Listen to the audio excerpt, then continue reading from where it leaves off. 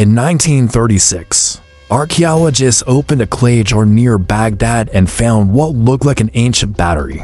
During excavations in Khujut Rabu, Iraq, German archaeologist Wilhelm König discovered a small clay pot. Inside it, a copper cylinder and an iron rod. The jar dated back nearly 2,000 years to the Parthian Empire centuries before modern electricity.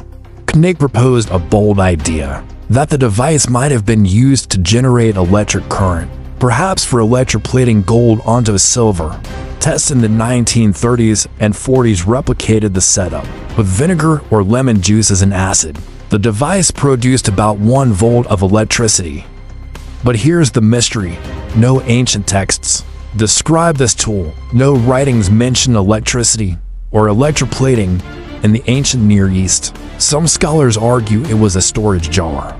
Others believe it was used in medicine or magic rituals. Yet, the original artifact now housed in the Iraq Museum, still raises questions. Was it an ancient battery, a scientific experiment, or simply a coincidence of design?